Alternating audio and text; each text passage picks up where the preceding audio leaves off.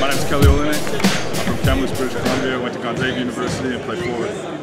What are you working on out here in LA? Uh, you know, just trying to get a lot of workouts in, get, get your skills up, and getting them as tight as you can. I mean, your handle, your shot, and trying to get everything smooth and, and ready for that next level. What was today about? I was just about getting out here, uh, kind of showcasing a bit, uh, showing what you what you can do, uh, what you can, what you can uh, bring to a team next next year, and uh, just kind of have some fun. What was it like working out in front of so many um, NBA GMs, presidents, executives, stuff like that? Uh, it's fun. It's, it's really fun. It's exciting to, to be at this level and, and this opportunity. Um, I'm blessed with this opportunity right now. Actually, I was saying it felt a lot like the combine actually, with a bunch of people here watching, uh, taking notes and all that stuff. But in the end, I mean, you're just playing the game. Everyone watches your games no matter where you are, so it's just another day in the office.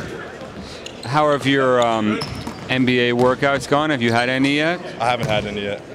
What's your game plan going to be in terms of working out for teams? How many are you planning to, to work out for? I'm not sure. I mean, got to talk with my agent with that. I kind of set everything up, but uh, hopefully, I get to get to get to do a little tour and, and see a bunch of different organizations and see how they operate and stuff. What can you bring to the table for an NBA team right now? Uh, you know, hopefully just bringing like a skilled, uh, versatile big guy, uh, high basketball IQ, kind of work ethic motor. So, I mean, that's what I'm trying to bring, and kind of uh, wherever they see me fit is, is where you got to produce. What do you need to work on? Uh, you know, once, once you get to this next level, I mean, everyone's so much better in the playing against the best players in the in the world every night. So you kind of need to work on everything. You need to step every part of your game up. I think that's really what I'm doing is just try to fine tune and step every part of your game up because nothing right now is going to cut it.